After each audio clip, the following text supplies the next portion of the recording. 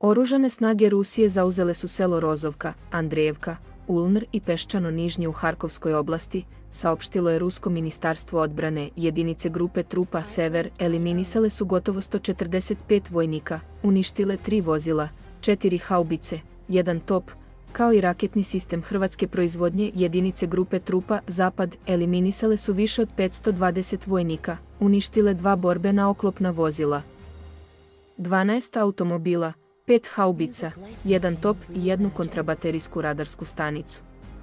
Osim toga, uništeno je pet skladišta municije oružanih snaga Ukrajine, jedinice grupe snaga Jug eliminisale su gotovo 510 vojnika, jedan oklopni transporter i dva vozila, tokom kontrabaterijske borbe, pogođene su četiri haubice, kao i tri topa, a uništena su i dva skladišta municije oružanih snaga Ukrajine.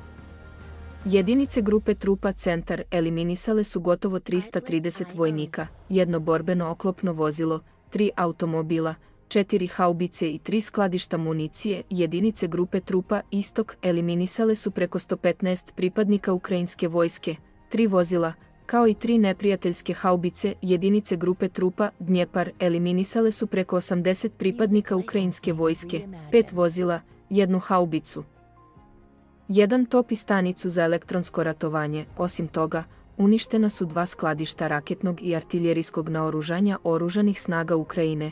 Pogođeno je skladište u kome se nalazilo gotovo 400 tona municije oružanih snaga Ukrajine, radionice preduzeća vojno-industrijskog kompleksa Ukrajine, ljudstvo i vojna tehnika ukrajinskih snaga u 133 regiona, oboren je ukrajinski helikopter Mi-8. Dve vođene bombe, два вишецевна ракетна система Химарс и 40 беспилотних летелица,